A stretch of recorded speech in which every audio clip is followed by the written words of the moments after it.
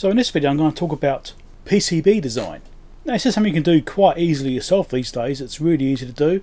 It is a bit of a learning curve at times trying to get into these things.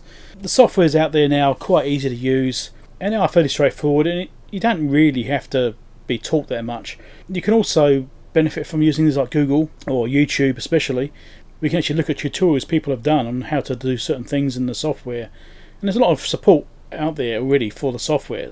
So this particular example here, this is Eagle. This is an old version of Eagle. I'm using 7.6 which is ancient now. This is what I use because I don't want to pay a monthly fee or whatever. um, yeah, I'm tight like that. This is the free version. so, but there's also other versions like there's, there's KiCad or KiCad, however you want to pronounce it. Um, I've also got that. I've used both. So in this particular one, I'm just showing you an example of something I've recently designed. This is, in theory, a constant current source. Haven't even built up a demo circuit yet. Haven't even tried it out. I just sat down, drew it out, thought, right, this will probably work, and I've actually ordered the PCBs. So I'm going to cover that as well in a video about ordering the PCBs as well and covering that side of it. Basically, you come in here, you can select a part. You can choose whatever parts you want from this list, which is a bit big for this window. There you go, bring this up a bit.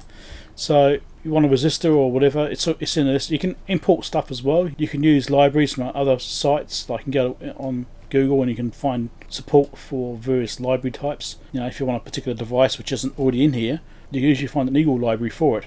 It's quite common. Yeah, you've got different resistors and all sorts of stuff in here, loads and loads of stuff. And there's things in here which I've added. Obviously, you can even make your own footprints in your own devices.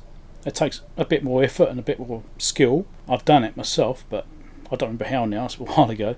But I've done it, you can actually make your own footprints in your own devices and, and so you can import your own things. Let's look for ESP32.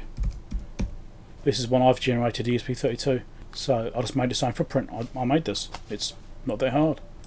Um, but basically you pick a device, come in and you click on it.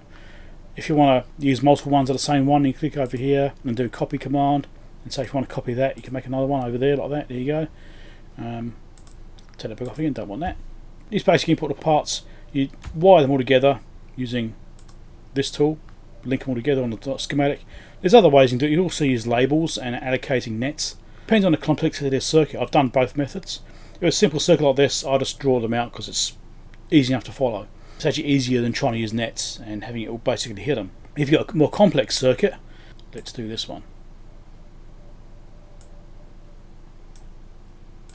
This is a bit more complex.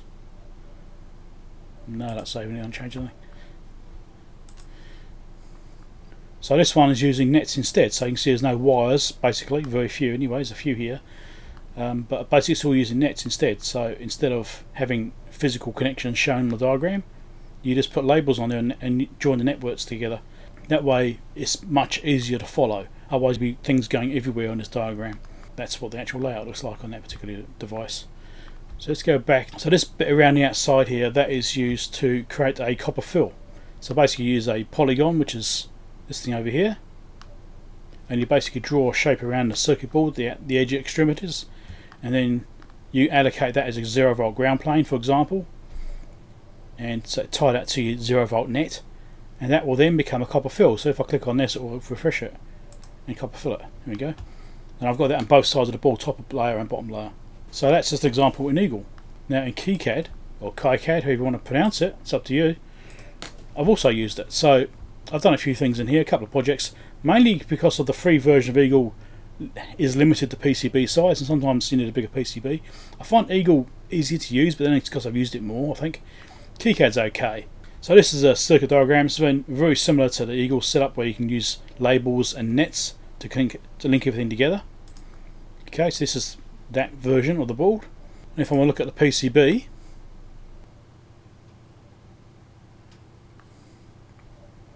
and there's the PCB itself.